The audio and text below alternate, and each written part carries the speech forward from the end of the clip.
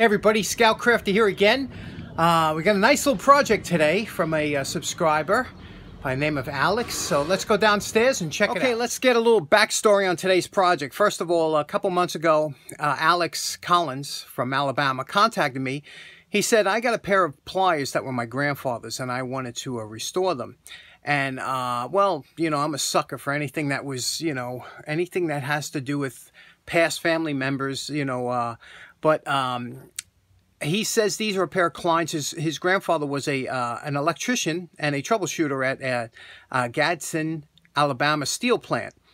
And uh, he and then I find out Alex is only 21 years old, and, and thank God his grandfather's still alive and kicking, doing good. So I said, this is great. Let's get this done because uh, it's a nice tribute to his grandfather to put all them years of service in at the uh, steel plant and uh, we'll see what we can do. and these. these. are the pliers in question, and uh, you can see here they have a, a, lot of years of wear and tear on it. You can see the jaws; uh, they're not too bad, but um, uh, you know, there's a lot of times you can't really do a lot with the jaws when they get you know uh, dinged up or something like that. But we can get them back into working order, and you can see here, you know, we got some some deep. It looks like years of uh, just hardened rust. You know how that gets on. So uh, it's got a pair of old Klein coats on here. We're going to get these off. Uh, Alex sent a new pair along with the pliers.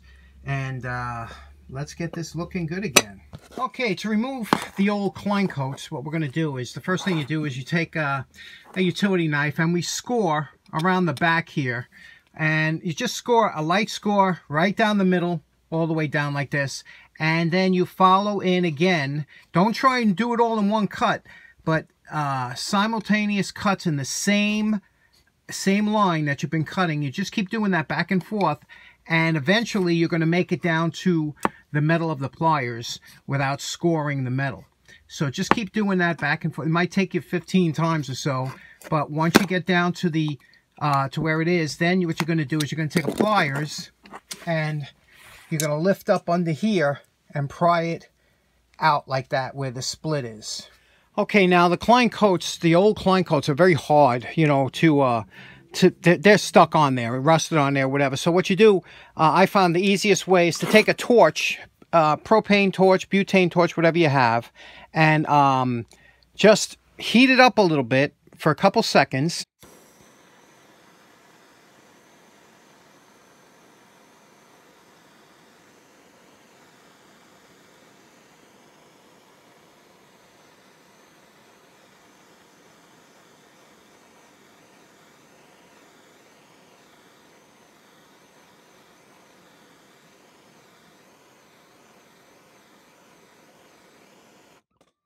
Now that'll soften, that'll soften the grips. Then when you take your screwdriver and you put it under here where you have that slit, it will, uh, you could see it's much easier to pry off. And you could, you see how it pops right off like this? And that's, uh, that's how I found the easiest way to get okay, them here's off. what they look like with the Klein coats off. You could see here. And, uh, now we're just going to take it to a wire brush, give it a quick wire brush and see what we're working with. But you can see that's just a little surface rust that you normally do get under them.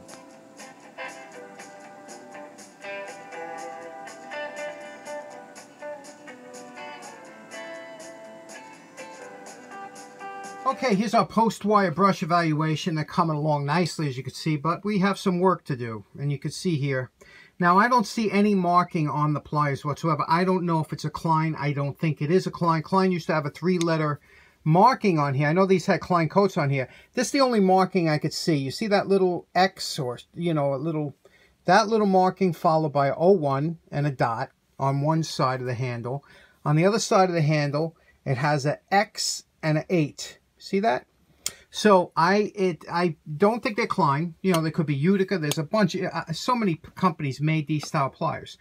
Doesn't matter. They're high quality pliers, and we're going to fix them up that uh, that they're just like they were when they were new. So uh, what we're going to do is, you see, we got some extensive pitting there, right? The good news is we don't have to worry about about taking off any of the lettering, right?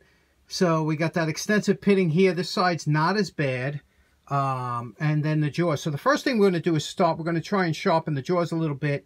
And for the simple reason that uh, it's much easier to do that before we this way we don't have to worry about messing up the finish when we clamp it into now, the Now, usually on these pliers, you'll have one side, they're anvil type cutters. One side is usually a flattened or dull side, and the other side is a sharp side that actually does the cutting. So, but with these, you know, they do have a slight profile. We're just going to follow the profile with a file and clean it up, and, uh, and hopefully it'll be sharp again.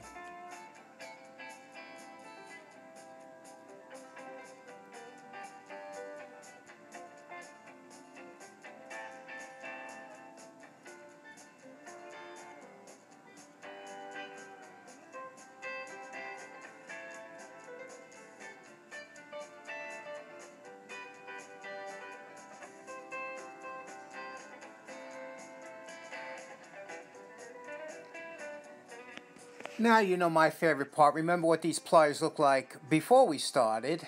Okay, we are calling this project done. And look how beautiful these are now, huh? I mean, this is just what I'm sure Alex was hoping for. And uh, his grandfather, Roland, I think he'll be pretty pleased too because this is just a beautiful pair of lineman pliers. I don't know the brand, like I said, but it doesn't matter. They're high quality. We're able to uh, tune up the jaws a little bit. Let me show you how they work. We'll do some quick cutting. You can see it cuts all the way up the jaw, no problem. And, uh, you know, nicely, nice sharp cutters now. Uh, smooth as can be. Look at that finish on there. Is that beautiful?